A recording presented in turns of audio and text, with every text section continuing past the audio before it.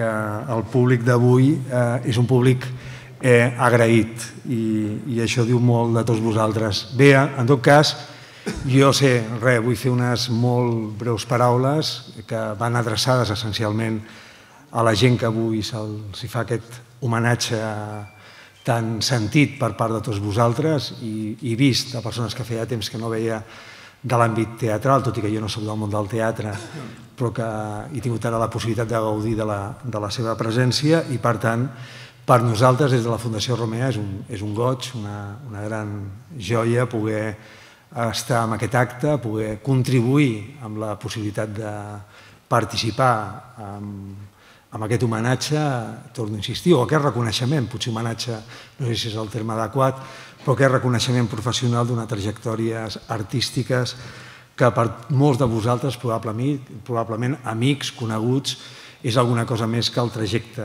artístic i és el trajecte d'una vida. Bé, l'activitat d'avui, que tindrem ocasió de veure, se centra en el programa El taller de la memòria escènica. No?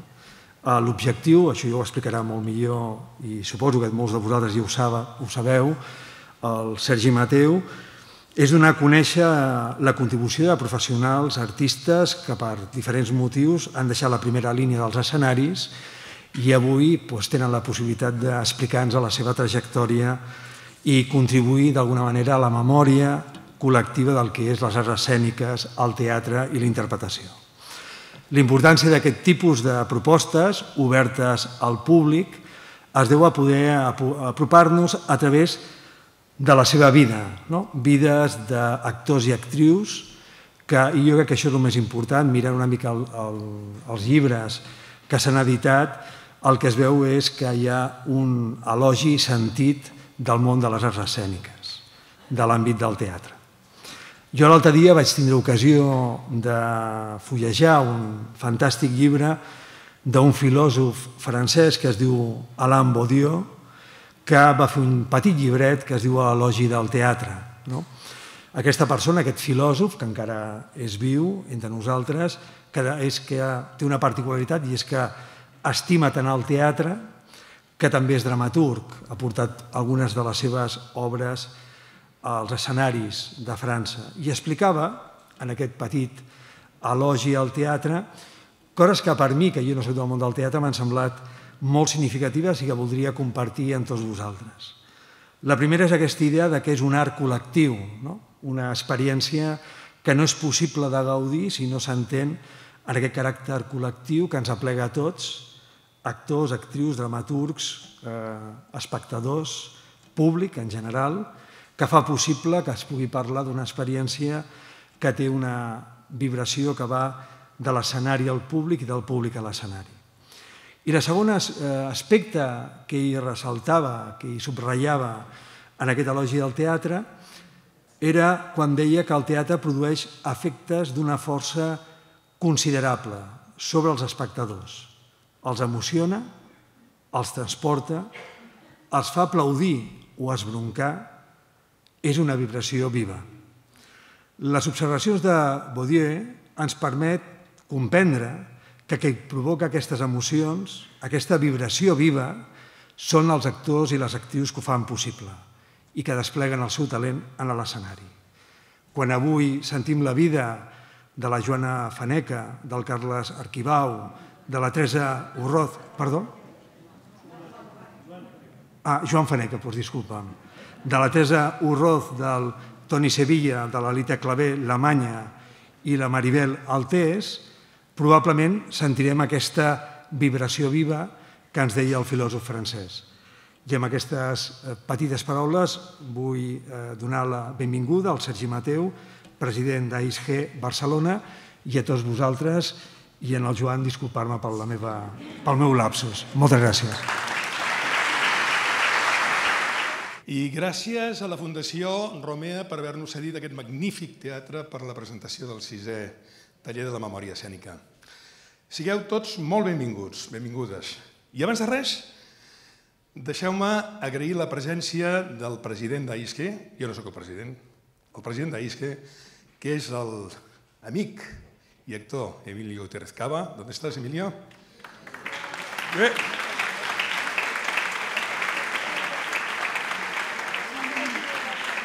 I també del director general, també un gran amic, infatigable treballador per la bona marxa de la ISCE, que és l'Abel Martín.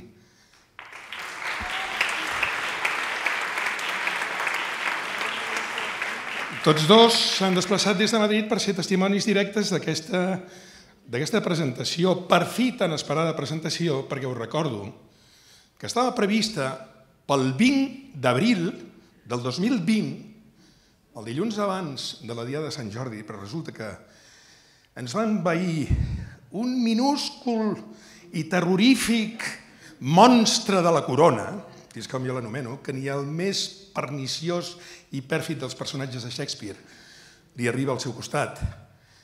Perquè la veritat és que ens ha fet molt de mal, per descomptat a tothom.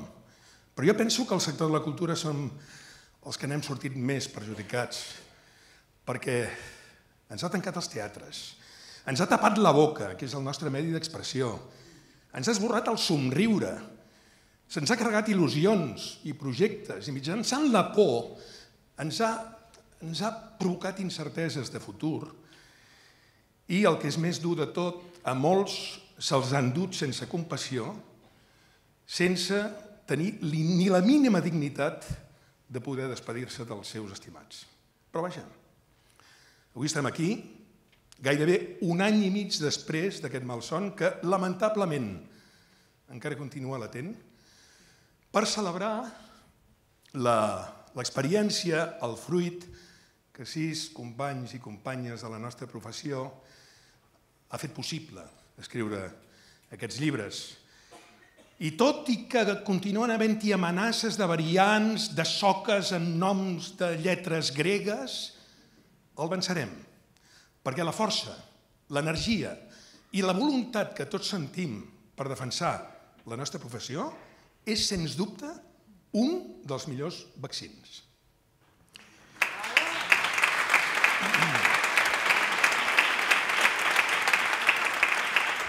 Abans abans de cedir la paraula a la persona que amb la seva, amb la seva energia, amb la seva professionalitat i amb el seu, bé, un treball i una dedicació increïble, ha fet possible crear un equip d'actors i actrius que han sabut treure el millor d'ells mateixos, volcant en paraules les seves experiències professionals mitjançant anècdotes, emocions, contradiccions, dificultats, apassionament.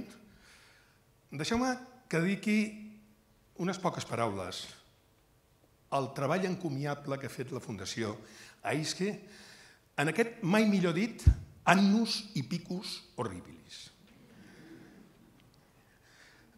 Um, és, per descomptat, que la prioritat absoluta de la Fundació Aisque és el Departament Assistencial on tots els seus responsables s'han volcat amb cos i ànima, perquè, encara que treballant des de casa, perquè no hi hagués ni un sol soci que patís precarietat econòmica i d'assistència en aquest temps tan, tan difícil.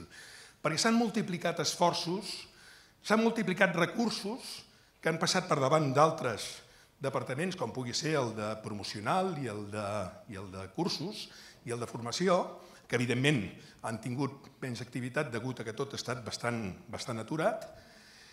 I aquesta és la raó de ser de la Fundació, el Departament Assistencial. I aquesta pandèmia ens ha posat a prova. I puc dir-vos que ens n'estem sortint molt bé. I si no, aquí hi ha l'Abel i l'Emili que ens poden reafirmar aquesta, el que dic. I penso que tots, tots els que som, eh, som de la Fundació i som socis en podem estar molt orgullosos.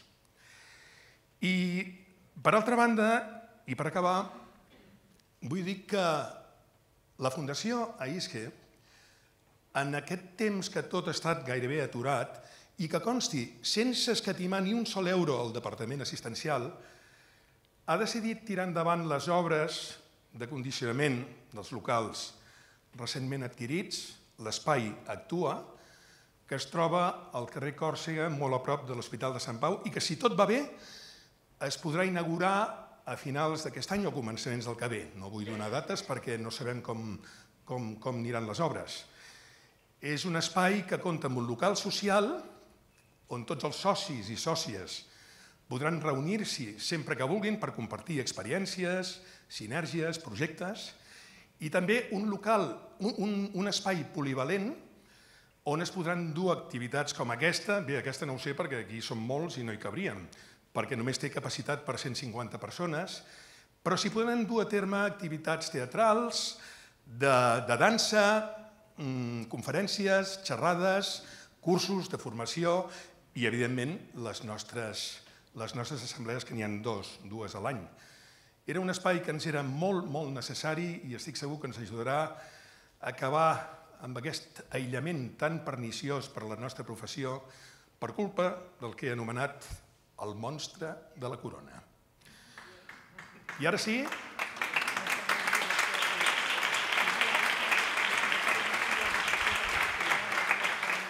Uh, desitjo que, que disfruteu d'aquesta presentació, que sens dubte serà un espectacle, i ara us deixo amb una grandíssima dona i amiga, l'Araceli Bruc, que és la que conduirà aquest acte.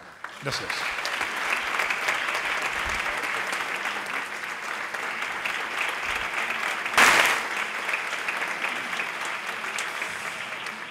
Amigues, amics dels veritables protagonistes i les protagonistes d'aquesta vetllada de la memòria, d'aquesta festa de la memòria. Pensava, preparant això, que en aquest joc d'arts, que és la vida, sovint se'ns presenten oportunitats inesperades. Tot depèn de si ens arrisquem a jugar-les. I nosaltres, tot l'equip del sisè taller de la memòria ISCE Barcelona, ho hem fet. Eh, de primer es tractava de formar un equip de jugadors i jugadores professionals de primera categoria provinents de diferents camps de la gran família de les arts escèniques. Conforme eh, aneu llegint o els aneu veient, veureu que hi ha hagut aquesta intenció primera. De bones a primeres, per part d'algú hi va haver-hi alguna reticència, potser per pudor, o segurament perquè amb algú li va semblar que la seva història potser no tenia un interès especial. Potser també per mandra, eh? per mandra de buscar velles fotografies, eh, de, eh, de remenar emocions, de, de sacsejar neurones, però quan ens vam centrar de ple en l'objectiu principal d'aquests tallers de la memòria, que és contribuir amb la pròpia història, escriure la història de les arts escèniques del nostre país, totes i tots es van convèncer que la seva contribució era més necessària de, del que potser en un principi havien suposat.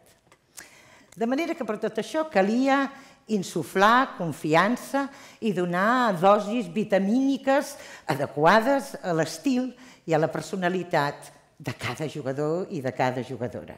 I per això, eh, sota l'atenta mirada d'en Sergi Mateu, Gabriela Lucena, amb llarga experiència a gestionar aquests tallers de la memòria, doncs eh, ens ha ajudat tota hora, ens ha assistit tota hora i ho ha organitzat eh, fins a l'últim, del primer al darrer moment.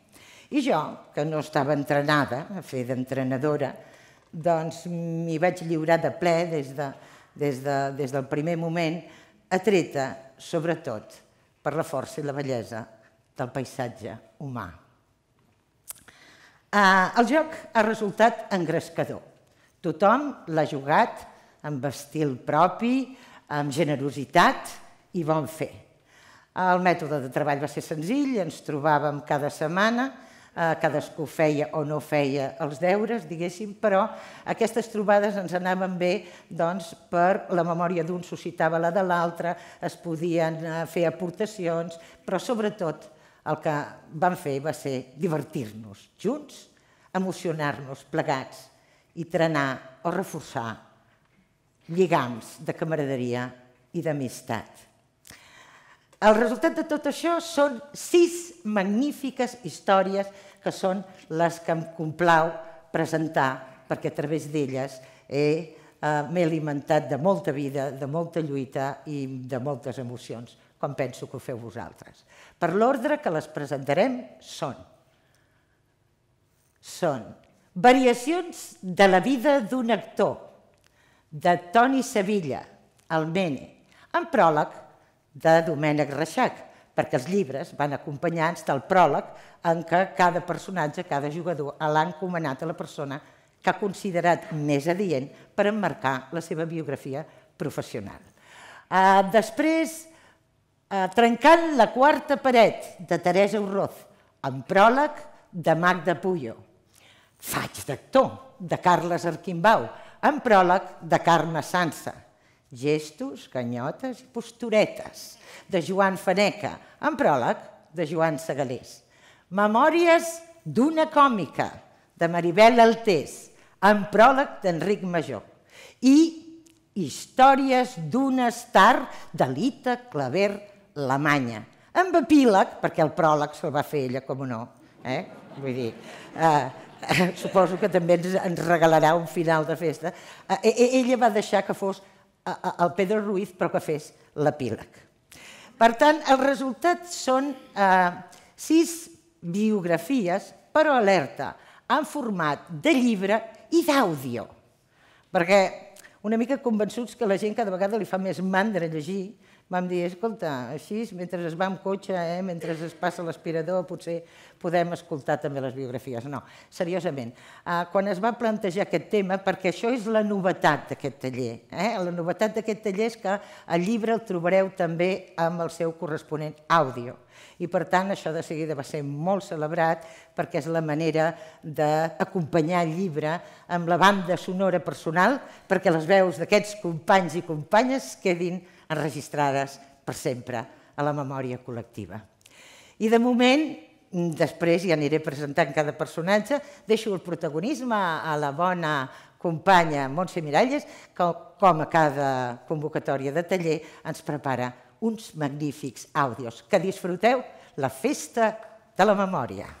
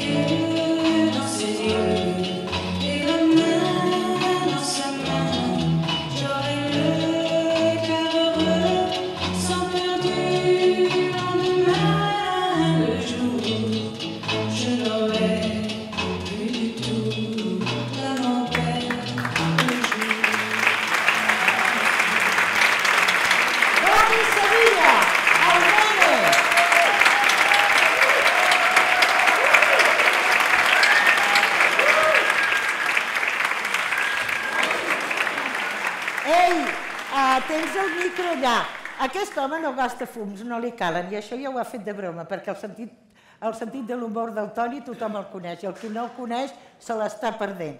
Escolta'm, aquest és... Jardí. Eh? François Jardí. François Jardí.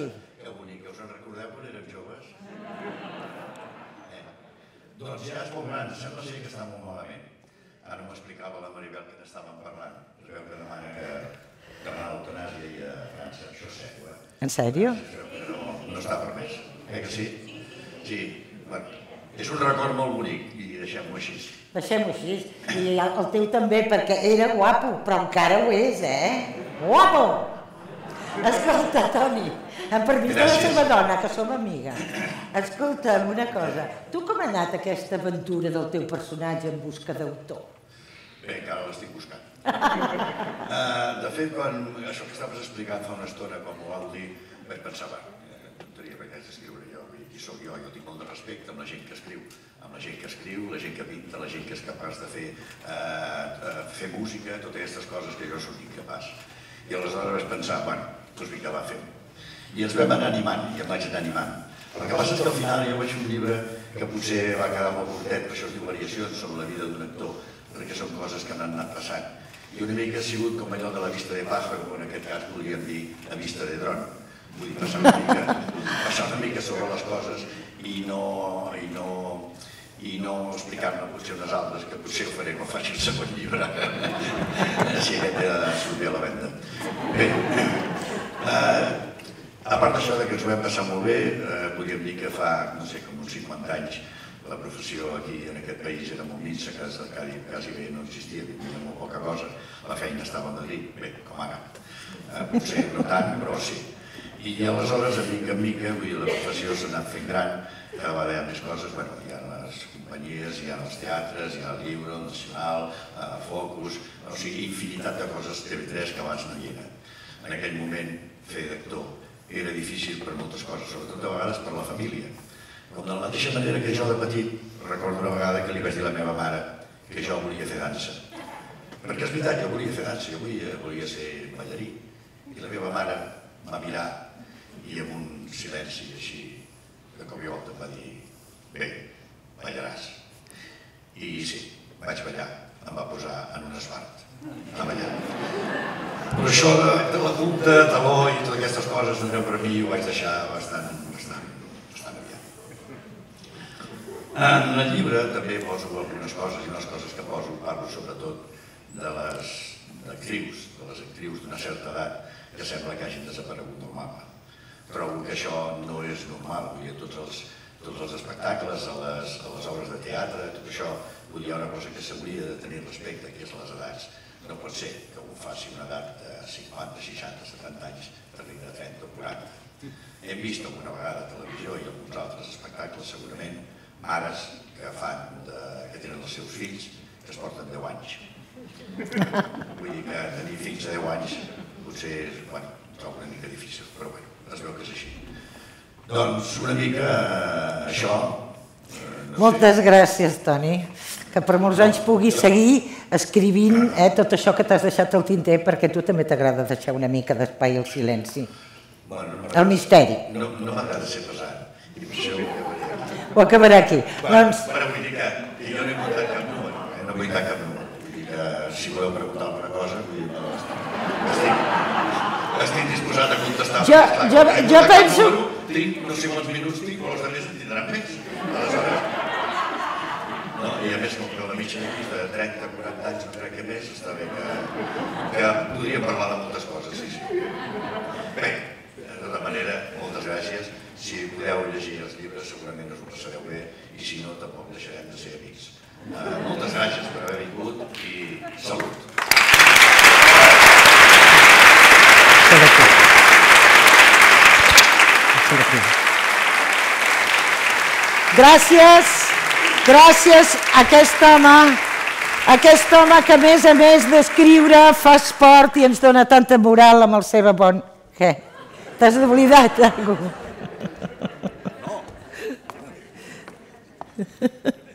Com veieu, faig el numeret. Bé, una de les coses que volia dir que algú que ha llegit aquest llibre que és un amic meu, molt amic meu, que és el Ramon de la Torre, que està aquí, em va trucar aquest dia i em va dir, diu, escolta, diu, aquest llibre teu diu, és com una venti. Venti és una cosa que nosaltres fèiem quan érem petits, que ens trobàvem 4 o 5 o 6, i un deia, escolta, explica una venti. I una venti era una aventura. I aleshores, en aquell moment, un de nosaltres, doncs es posava en marxa i explicava històries. Històries i que els personatges de la història eren nosaltres mateixos. Només volia dir això. Ramon, guapo. Aquesta d'aquí.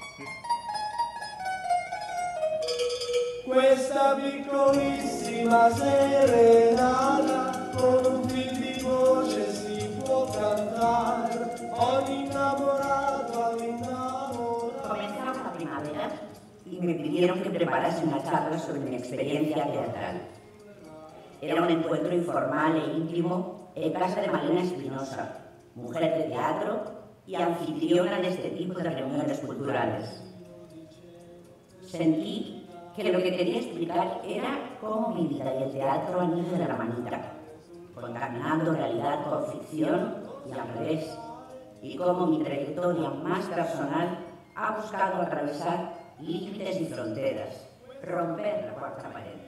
La serenata con un fil di voce si può cantare, ogni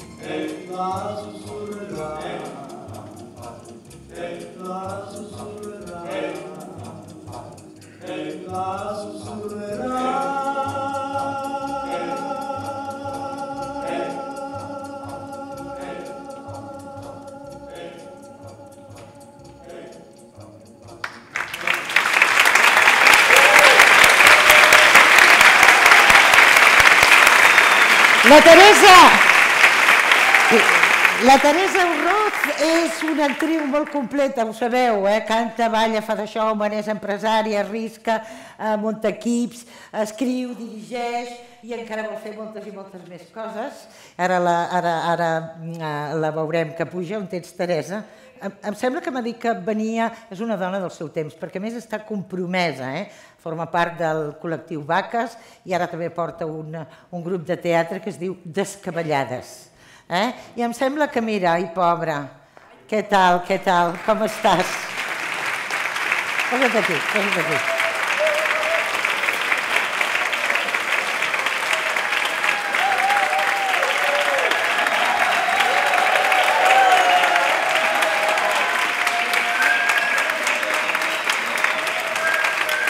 Mireu, mireu que coqueta, eh?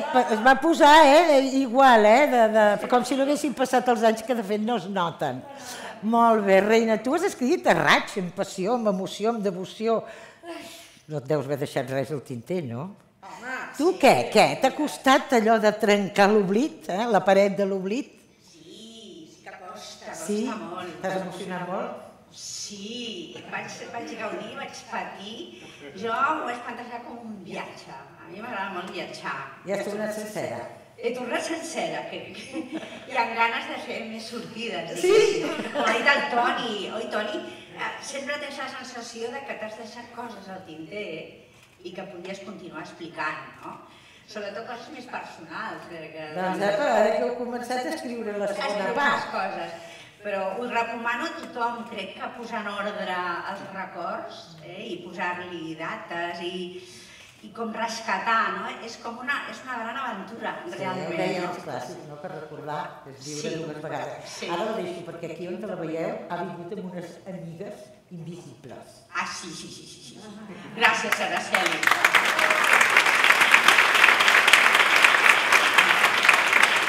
Sí, la veritat és que bueno, jo he gaudit molt d'aquest viatge, perquè jo penso que tot forma part del viatge, no? i el fet que et postés o que no sabessis com acabaria la cosa, això ja, ja va bé també.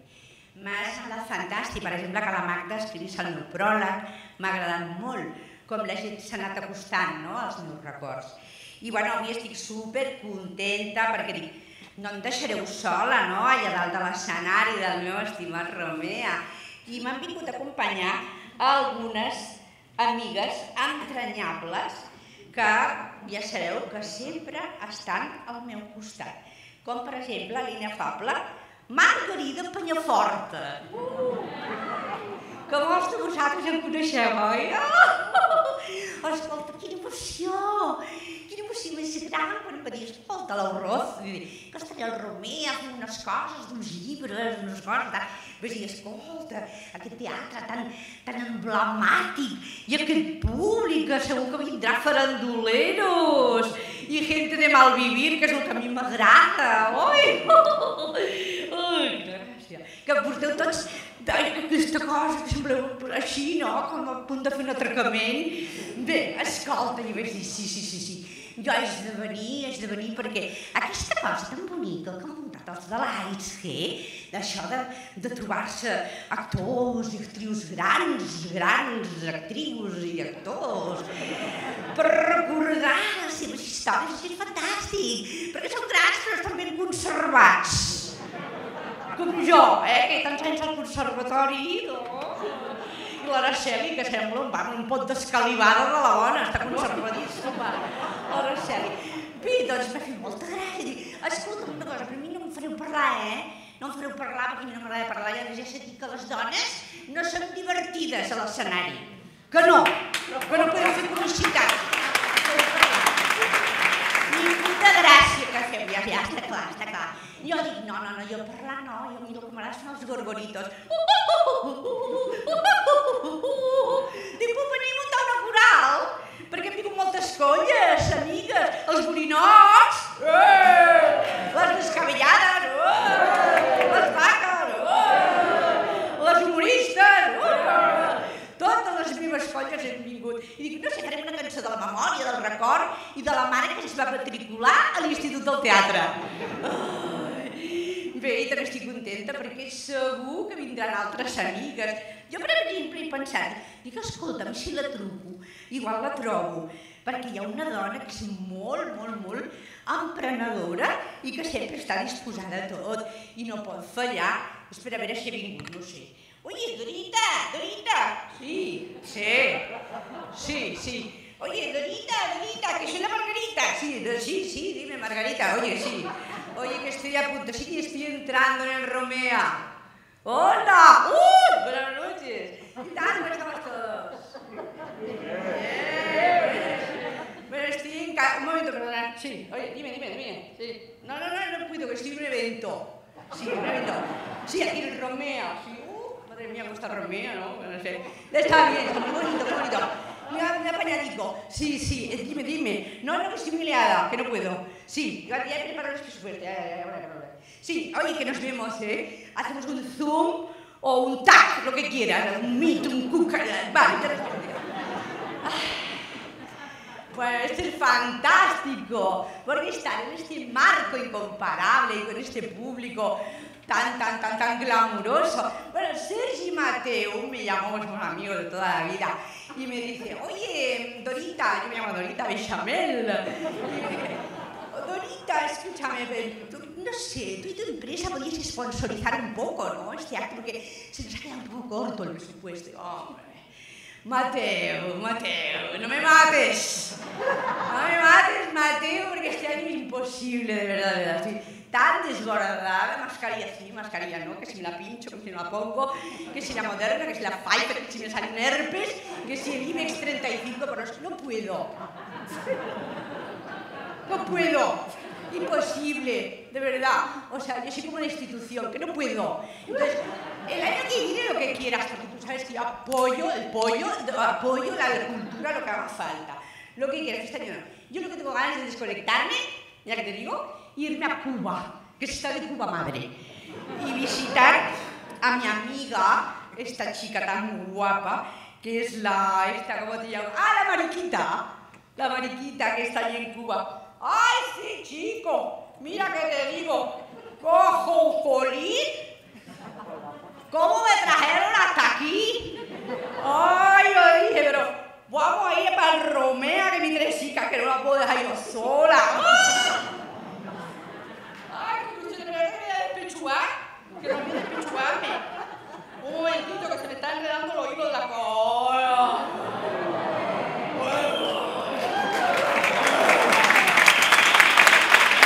Me gusta, compañeros. Apoyando el evento, apoyando el evento.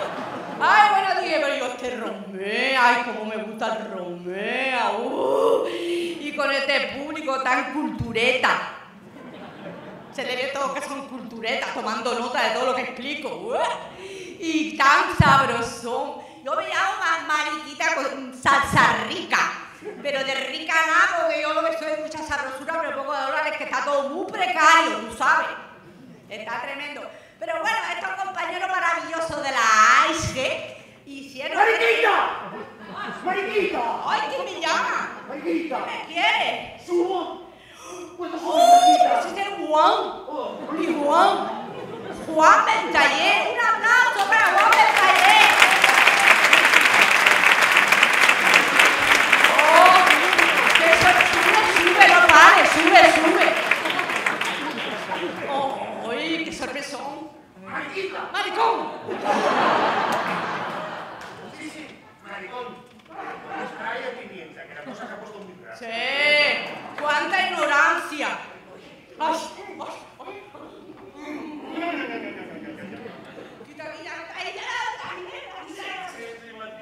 Ay, que necesito un asistente. Mariquita. Ay, tú más. Mariquita. Ay, mi Juan, que es mi fan, number one. Mi fan. Oye, morenazo. Pero escucha, negro zumbón, pero él no es cubano, es de la Barceloneta. Pero mateix, vaig a mateix. Ah, i no tot el que mira. Pero Juan, que esto no es el cangrejo. Que esto es Romea. Metateatro. ¿Qué ganas teníamos de pisar el escenario? Ay, mi Juan, number one de los Muppets. Sí, sí, sí. Los Però- Muppets. Però no com si Luis Moreno, eh? No, no. No. A més, jo no declines. No declines ni a tu, ni a tu, a tu sí. Ah, no, no, no, no. Mariquita! ¡Ay, mariconazo! Bueno, escucha una cosa. ¿Trajiste aquello que tú traes siempre? Claro,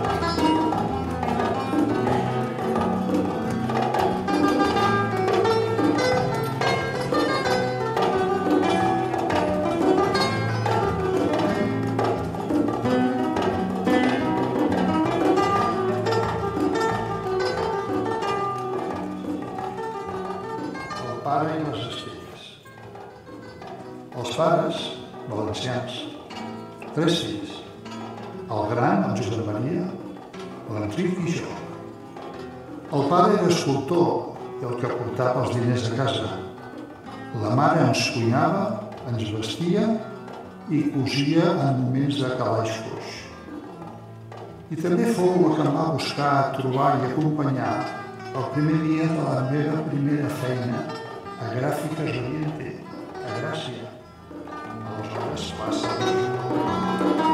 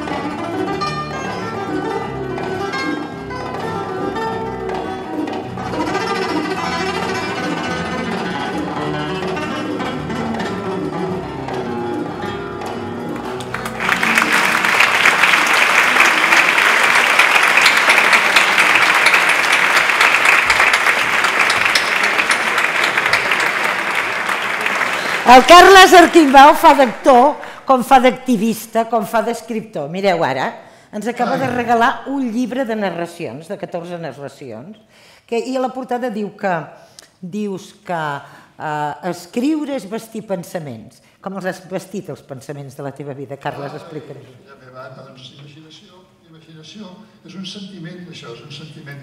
I, jo em vaig engrescar eh, amb aquest segon llibre, que tu tan amablement anuncies, gràcies al taller de la memòria. Això està bé, eh? perquè t'ha despertat aleshores una vella vocació com et va passar amb fet d'actor.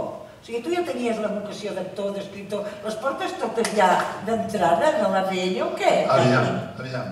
Jo, eh, jo als 15 anys ja volia ser actor. I escriptor? No, això, això ha vingut després. No? Vull dir, m'agradava molt llegir, eh, pensava que era molt difícil escriure, fins que un dia vaig, vaig descobrir que era possible. Però t'explico, jo eh, als 15 anys ja volia ser actor i amb una colleta d'amics inclús vam muntar un possible espectacle eh, basat en tres figures del moment del món literari i, i amb la idea de, de en plan faràndula, passejar-ho per tota la península. Castellà.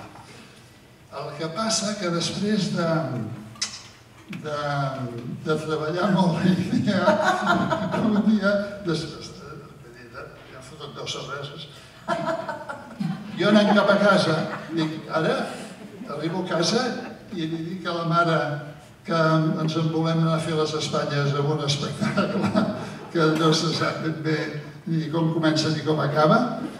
Eh, Total, que no vaig arribar-ho a dir. No vaig arribar-ho a dir perquè la meva mare li hagués agafat, ja us ho podeu imaginar, i el meu pare tampoc hagués entès res.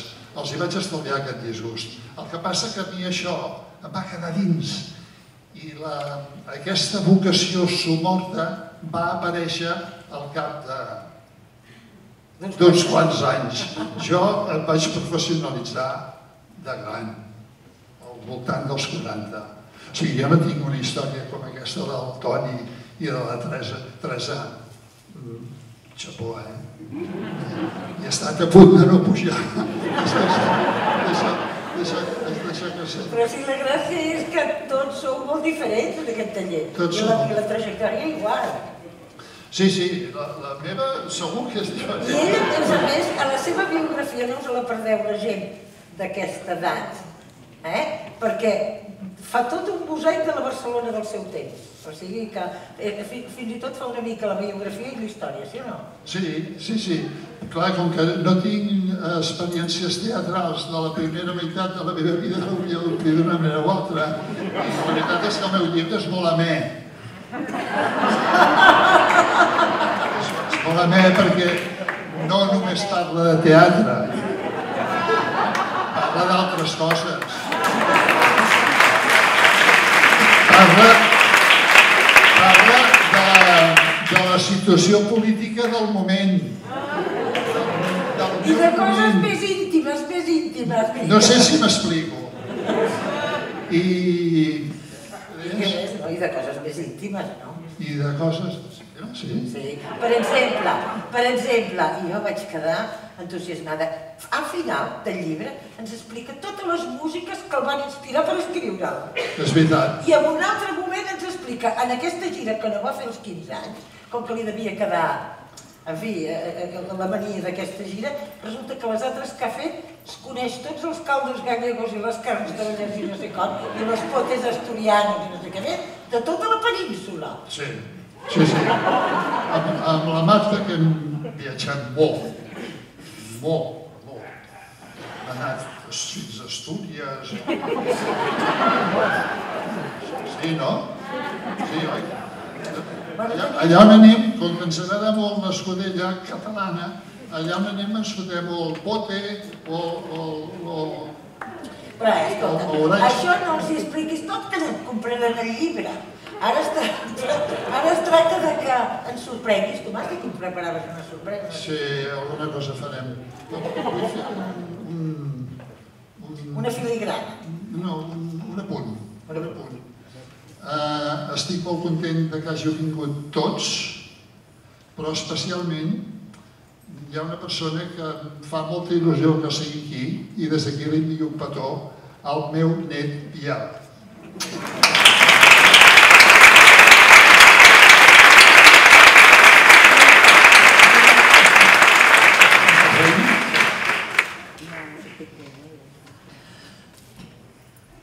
Ara ens ha de sorprendre. No sé si sortirà disfressat amb la ploma de Shakespeare fent d'escriptor, o si sortirà empresonat fent d'activista, o si sortirà volant. No sé, no sé com ens sorprendrà, perquè a més a més no ens ho diu, no ens ho diu. És sorpresa.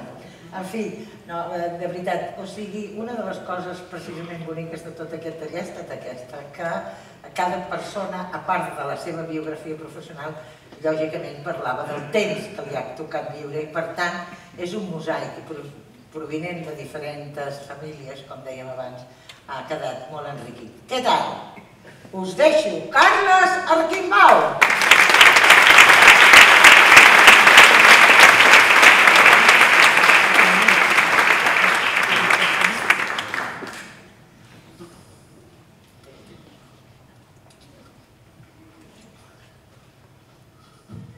Soc el vostre benefactor.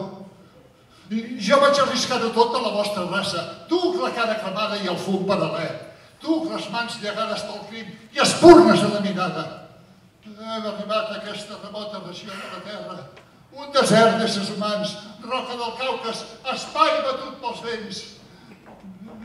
Vinga, va, sóc vostre. Tortureu-me, tortureu-me.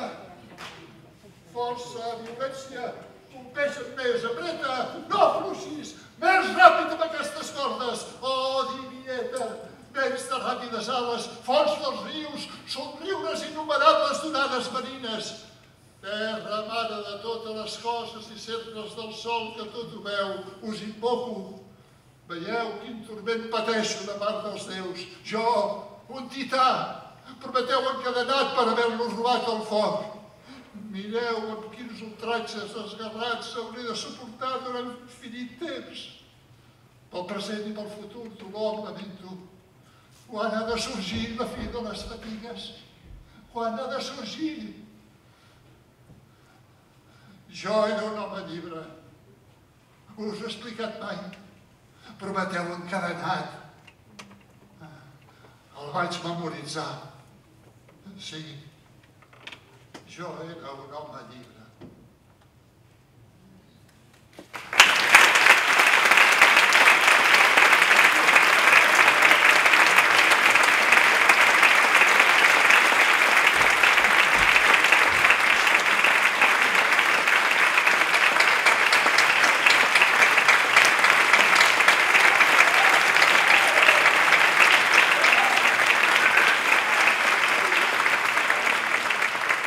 Sí que ha arribat un moment de silenci.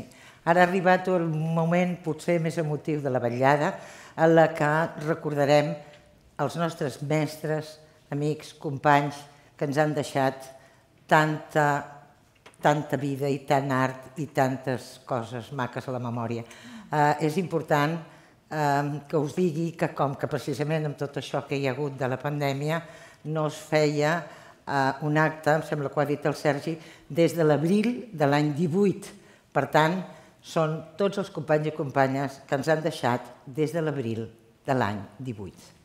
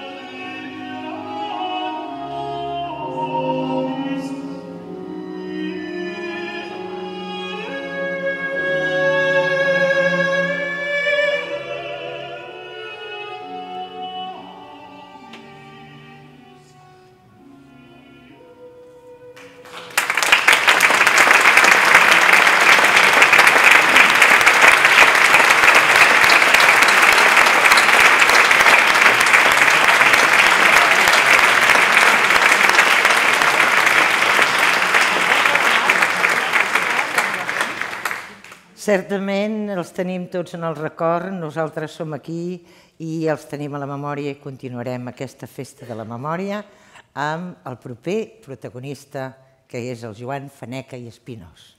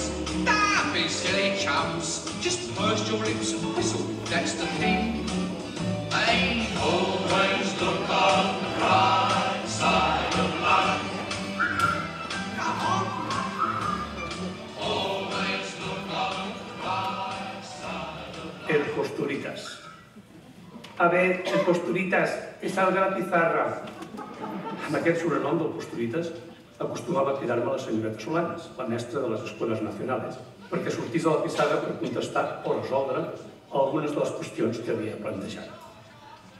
Per què el Posturitas? Doncs perquè quan pujava la tarima, potser la primera tarima que vaig realitzar a la vida, a l'edat dels 7 o 8 anys, i mentre pensava en les respostes, sembla ser que iniciava tot un recital de gestos, ganyotes i posturetes que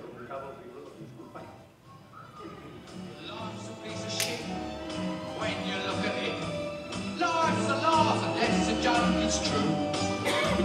You'll see it's all a show. Keep 'em laughing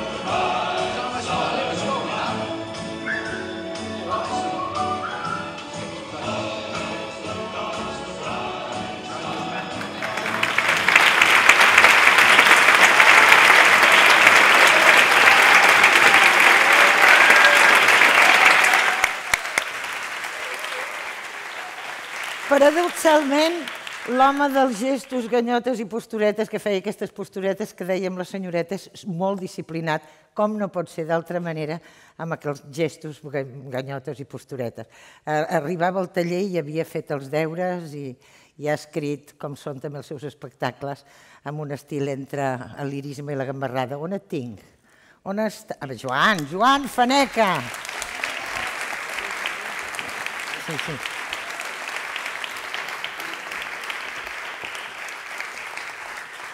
Què tal?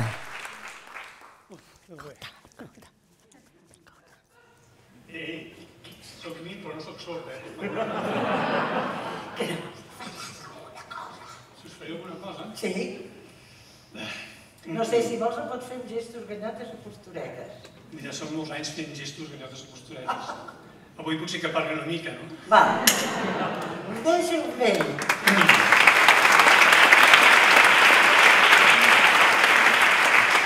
Bé, abans que res, el que voldria és agrair a la meva família, a les meves amigues, als meus amics, a les meves companyes de professió, companys, agrair que estiguin aquí, que vinguin a la presentació d'ell i meva. Eh, com a llibre i meva com a acusarat escriptor. I també doncs, agrair a la Fundació ISCRE, al Sergi Mateu, a Arceli, a Gabriela, en fi, tot l'equip que ha fet possible que, que ell i jo avui estiguem aquí. I ja està. Gràcies. Passen, volen els anys. Volen els anys, però queda... Ah? Màgia. Esperem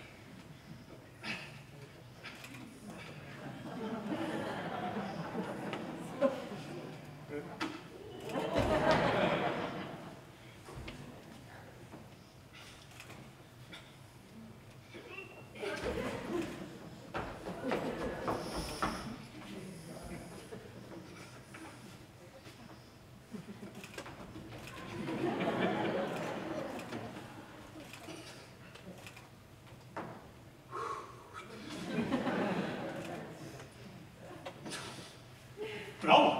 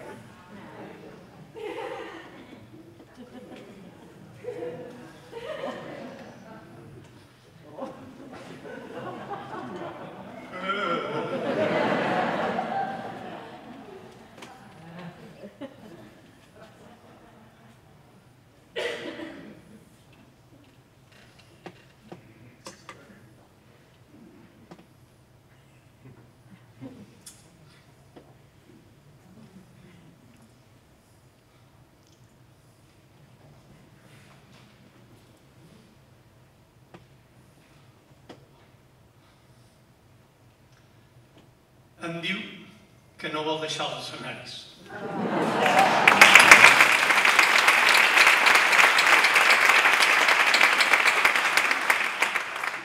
Jo t'entenc, eh? però és que ara, avui, aquí, al Romer, hem de deixar l'escenari perquè hi ha altres companys que han de presentar els seus llibres.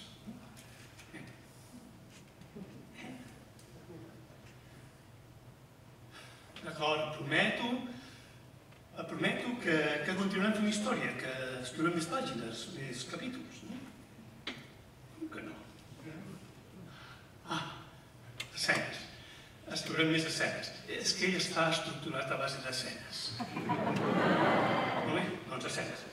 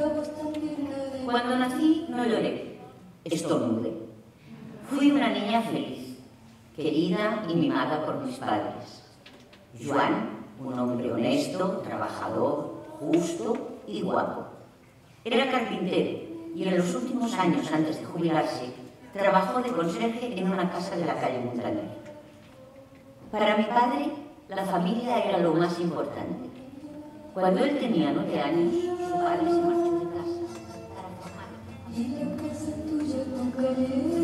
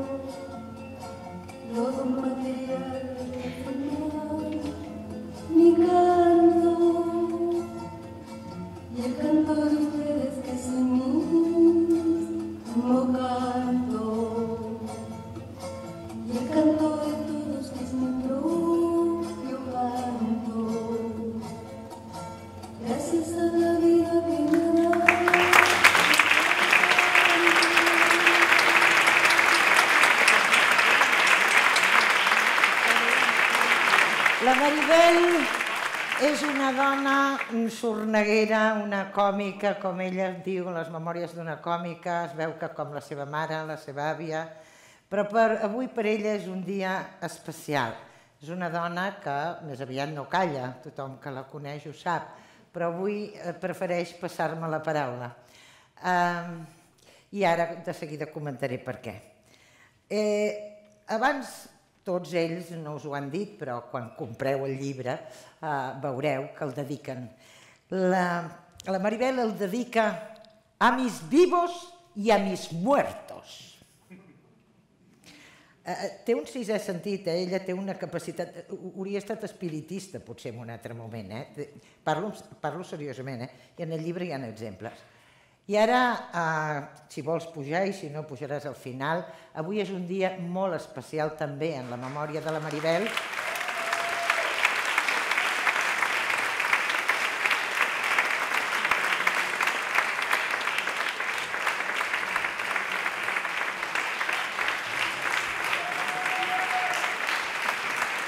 Avui Avui, 12 de juliol, deia això, que tenia eh, una comunicació amb esprits, perquè ha volgut també l'atzar que coincidís aquesta presentació que hem ajornat tant, que coincidís avui, 18 de juliol, fa 30... 18 no, 12. 12 de juliol, perdona. Fa 30... eh, No, tenen aquestes coses. Avui, 12 de juliol, fa 35 anys que va morir L'Adrià Gual. l'Adrià Gual.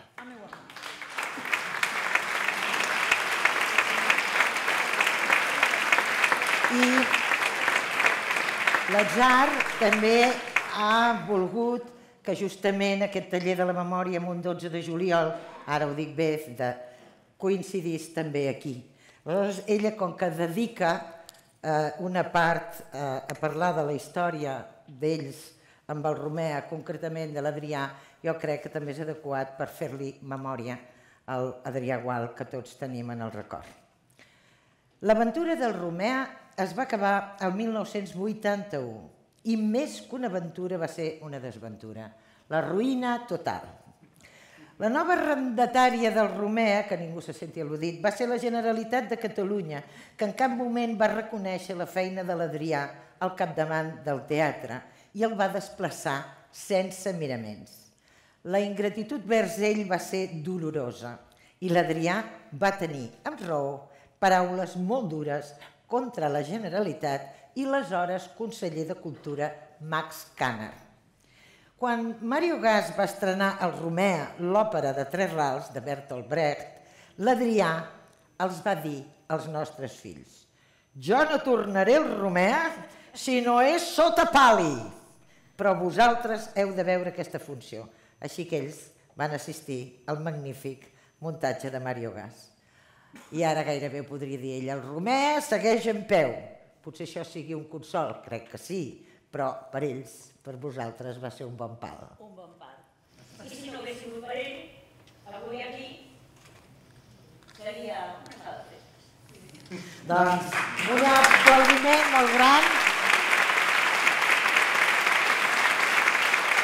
En record.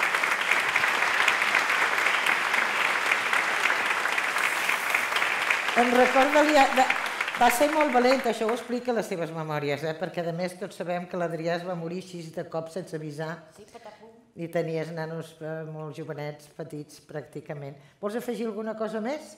O passem... No, jo que estic molt contenta. Hauries d'agafar el micro, eh? Se m'ha sentit molt bé.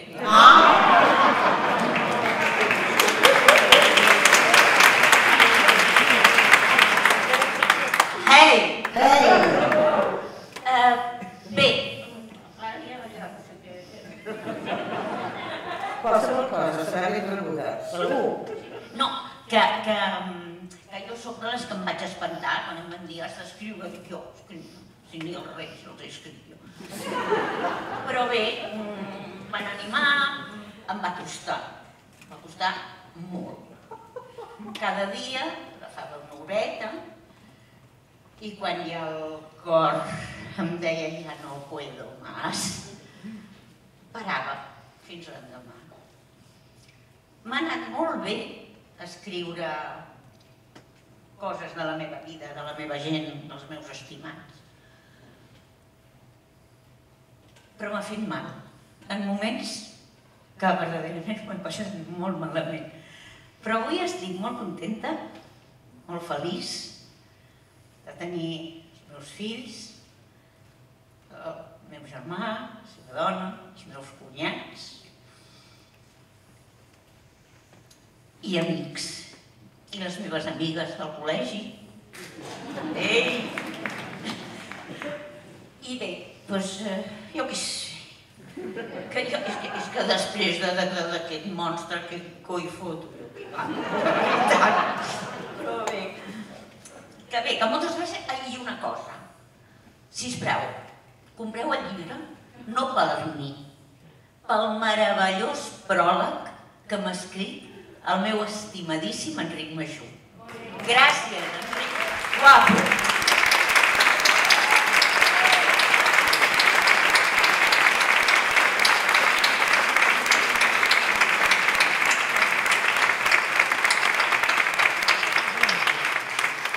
Bé, jo aquí he fet aquelles moltes vegades, però aquest, dia és l'últim que trepitjo aquest escenari. Malgrat tot, me.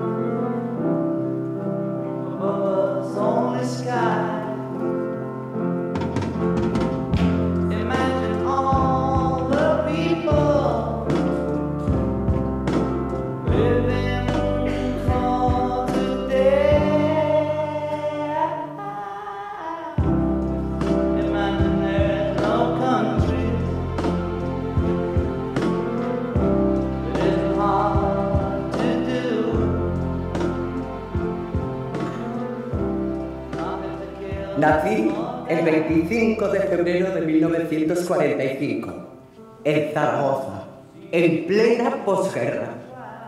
Estando en la barriga de mi madre, ya me di cuenta que tendría que luchar mucho para sobrevivir.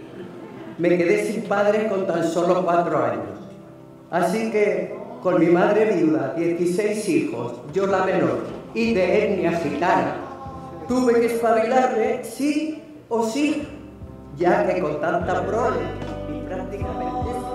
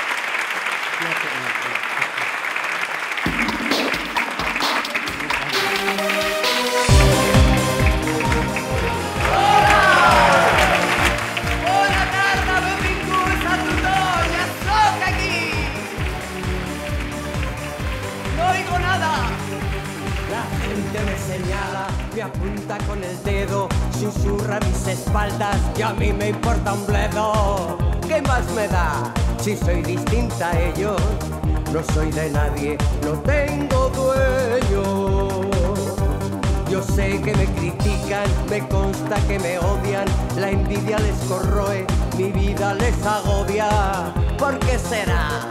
Yo no tengo la culpa, mis circunstancias les insultan. Mi destino es el que yo decido, el que yo elijo para mí.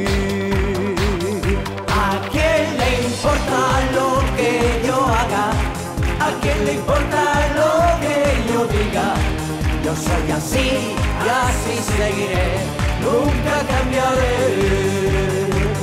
¿A quién le importa lo que yo haga? ¿A quién le importa lo que yo diga? Yo soy así, así seguiré, nunca cambiaré.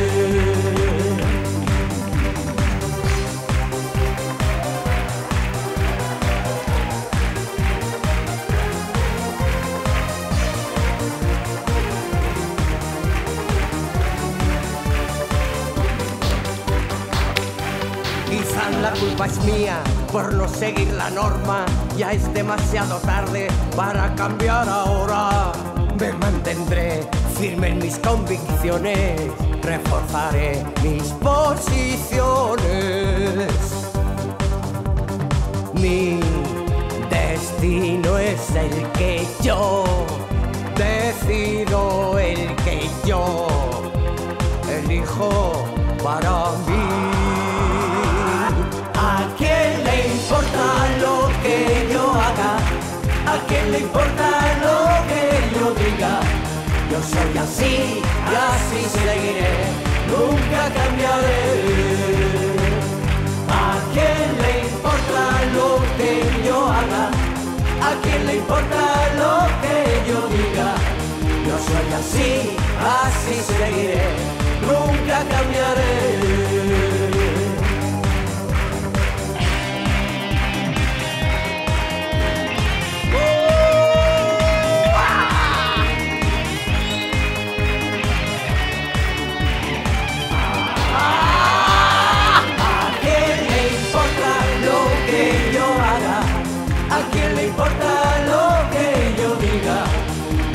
Así y así seguiré, nunca cambiaré. ¿A quién le importa?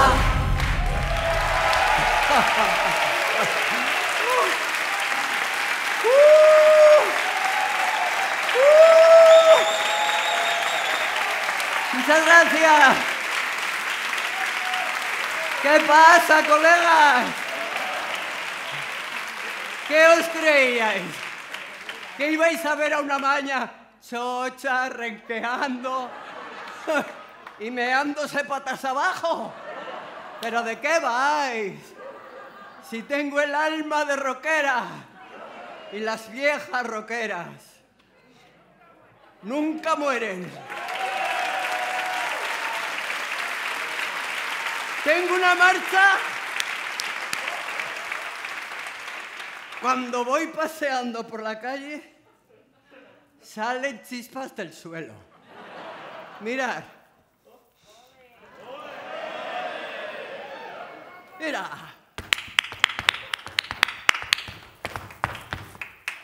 ¡Eh! Ahora por aquí. 76 años y no llevo ni medias. Toma.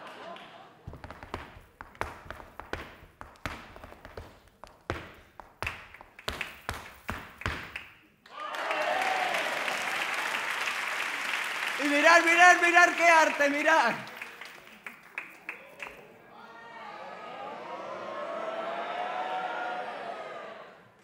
Los del ático deben ser del Polo Norte.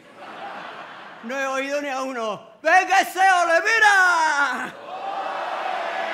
¡Mira! ¡Ole! ¡Ole! Os tengo dominados. Ay, amigos míos, qué pena que no pueda bajar a platea. Con los cullones de la pandemia, la madre que la parió. Estamos preparados. ¿Ya? Por favor. Estamos preparando un nuevo espectáculo que vais a flipar. Resulta que con esto de, de la pandemia nos pusimos en contacto a través del videocámara unas cuantas colegas. Y ni pandemia ni puñetas, vamos a arrasar. El elenco artístico es La Bomba, Oído al Parse, María Teresa Campos, Mercedes Milá, Isabel Presler y La Maña. ¿Y sabéis quién será nuestro guionista? Vargas Llosa. Y nuestro empresario, José Luis Moreno.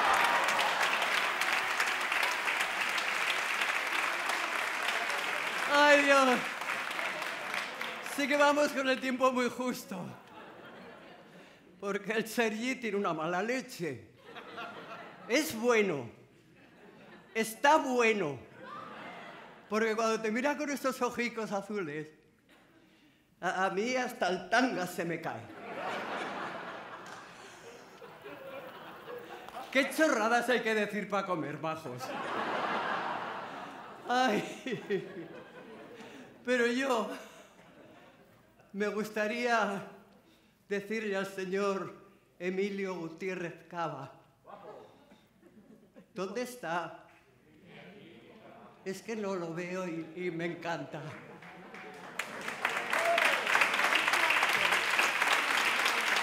Nos conocimos en el pueblo de mi paisano, don Paco Martínez Soria, y desde entonces te adoro.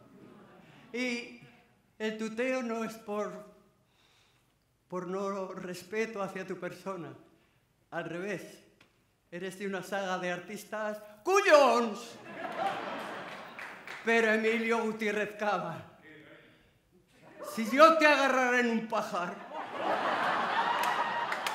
íbamos a comer una cantidad de jamón.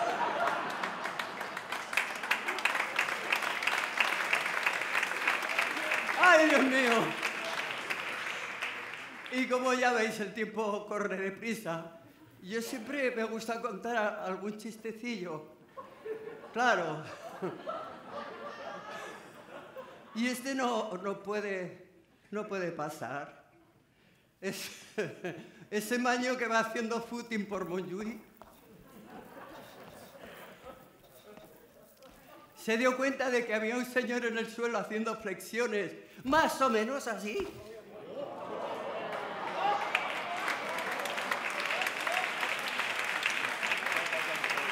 Se le quedó mirando el maño y le dijo, chico, no te esfuerces, ¿no ves que se te ha escapado la moza? ¡Ole! ¡Ole!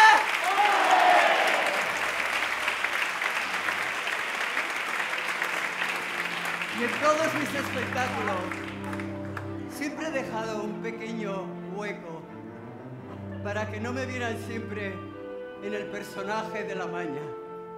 Esto quiero dedicarlo a todos vosotros, a todos mis compañeros, a mi familia, artistas, a todos los que estáis aquí. Contenta de haber puesto en un libro parte de mi vida. Si lo adquirís, pues os enteraréis lo duro que es ser artista, madre mía. Va con todo mi corazón para todos vosotros y para todos los componentes de Aiger.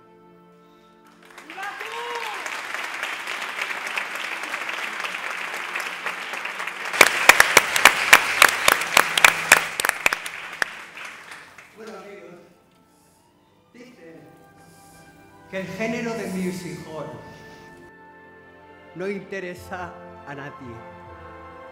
Pero eso quién lo dice? Los altos cargos, la administración, que ayuda a quien no debe y debe a quien no ayuda. También dicen que este tipo de trabajo no es cultura. En mis veintimuchos años que actué en mi querido paralelo, se interesaron por ver estos espectaculillos, personajes tan incultos como Salvador Dalí, Federico Fellini, Rafael Alberti, Vázquez Montalbán, Teresa Simón, Joan Manuel Serrat, Victorio Gassman y un largo etcétera. Y yo creo que todos ellos, mezclados con el público, venían en busca de una sonrisa o quizás de un poco de ternura. Porque detrás de cada uno de nosotros y del maquillaje existen personas de carne y hueso, con sus éxitos, sus fracasos, sus frustraciones, sus ilusiones, que quizás nunca se cumplan. Pero a mí, a mí me gusta mi trabajo. Me gusta porque cuando estoy en el escenario y noto el calor del público, puedo ver a través de sus ojos o quizás llegar hasta el fondo de su alma. ¿Y por qué ocurre? Porque se transmiten emociones y eso, eso te enriquece como persona. Que los tiempos que vivimos, que solo damos valor al maldito dinero, no se nos tiene que olvidar que al final de la vida, el ser buena gente es lo único que merece la pena. Si con mi trabajo os he arrancado una risa o he llegado un poco a vuestros corazones, me doy por satisfecha. Y no olvidéis que una vez más ha estado con vosotros una amiga, Lita Claver. Para vosotros, la maña.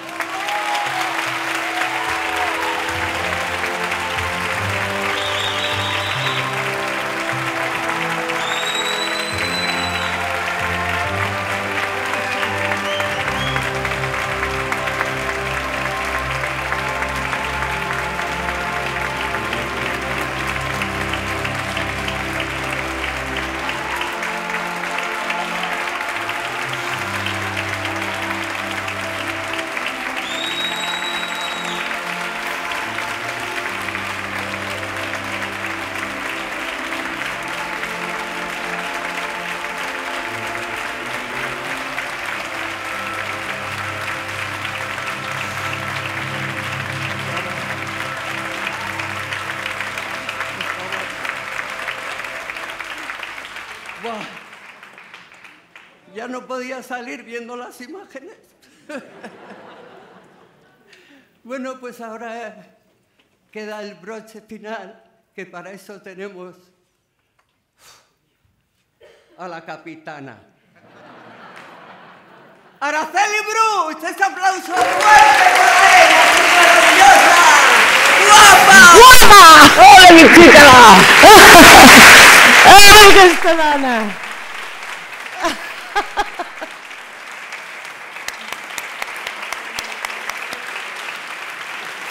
Escolta, sabeu quan pesa el vestit que porta? 10 quilos. I esclar, m'ha dit, escolta, monta tu com vulguis, però m'has de donar temps d'anar-me a canviar. ¿Ya has traído el vestido o qué? Oye, Araceli, por favor, no me fastidie. A mí Sergi no me dijo que trajera más vestidos. Es que Sergio no se entera de los vestidos de las ¿No mujeres. gusta este? Como no entiende de mis hijos, que ya es muy culta. Dime, reina. La Gabriela ha traído dos. ¿Ah, sí? Pues anda, que mientras tanto voy a... Vamos a... No se enfadará. No. Vete a cambiar y te esperamos. señora, que usted lo hace todo muy bien, escribe muy bien, pero muy mandona. Oh! Com es pot competir amb una dona d'aquesta? És impossible. Escolteu, mentre es canvia, que això és veritat, permeteu-me, i abans de la foto i l'apoteosi final, que encara agraeixi a els equips administratius o tècnics d'Isque Barcelona i a Isque Madrid i la gent que ha estat més en contacte perquè les coses sempre són d'equip. Per tant, eh, nomenarem a la Gemma Forns, que va fer la traducció i les correccions, les fotògrafes Ima Martín, que va fer les fotografies i el muntatge de les portades amb una foto d'ells de més joves i de més, i de més actuals. A veure, a l'estudi a l'estudi de doblatge Mute eh, i els directors, el Pere Eugeni Font, a la Iola, tots els equips tècnics, eh, també vam tenir una becària, que no sé si és per aquí, la Blanca Castelar, i a més a més hi ha una noia també en estat de bona esperança, la Mireia, que tothom coneix, esperem que coroni també la seva creació, que aquesta també és molt important, i a més a més, Alemanya, Alemanya sempre es portava un sèquit, per tant, aquí no convidem a la família real, però sí que convidem a la real família d'Alemanya, que la teniu allà. I dic això, i dic això perquè eh, eh, venien puntualment el Toni Villar i la seva dona, la Maria Tura, grans amics d'ella, es posaven eh, així a segona fila i escoltaven amb atenció tota la sessió i em consta que l'han ajudat molt. A la primera època també va venir el Toni Mont, si m'oblido d'algú disculpeu-me, i a veure com tenim aquesta dona i si podem començar a pujar. Us aniré nomenant tots per ordre de que heu vingut. Vinga, nois, a la foto final. Toni Sevilla, el nene. Teresa Urroz i les seves amigues. Carles Arquimbau. Joan Faneca. Maribel Altés. Sergi Mateu. Sergi Mateu.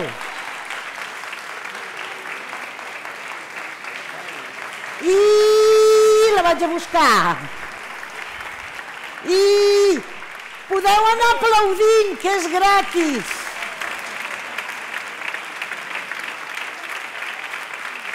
I Lita Claver, la manya. Que grande que és.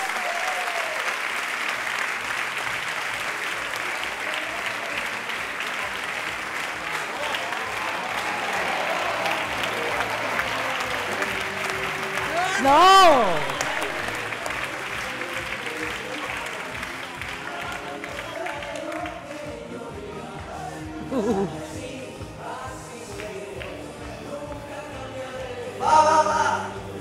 Venga.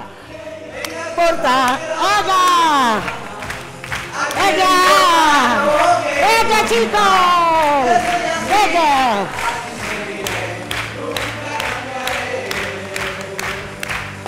¿Quién le importa?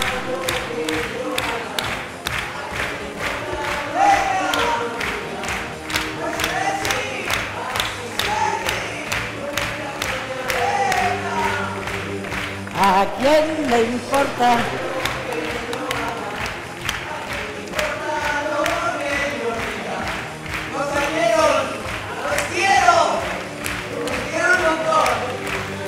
Oh, ¿a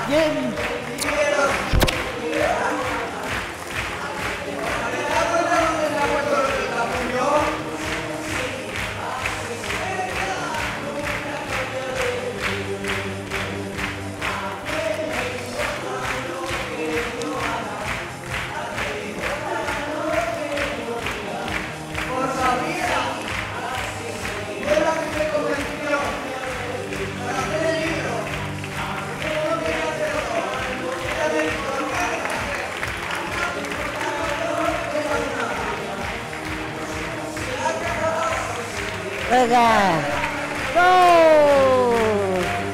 ¿A quién le importa?